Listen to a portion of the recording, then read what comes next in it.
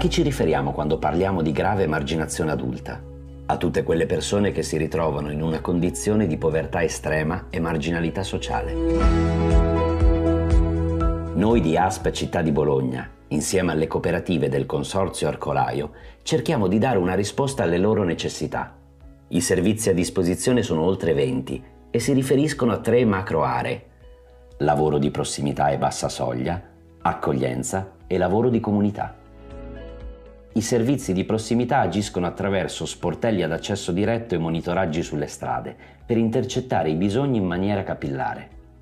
L'accoglienza nelle strutture è una risposta immediata alle esigenze di chi vive per strada, ma mira anche a costruire un progetto personalizzato di reinserimento sociale sul lungo termine. Crediamo che l'integrazione dei servizi con il territorio sia fondamentale un dialogo con la cittadinanza che viene guidato, in particolare, dai laboratori di comunità.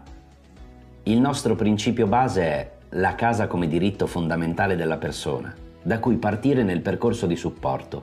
Questo concetto è al centro del progetto Housing First, che prevede l'inserimento stabile di persone senza dimora in abitazioni private.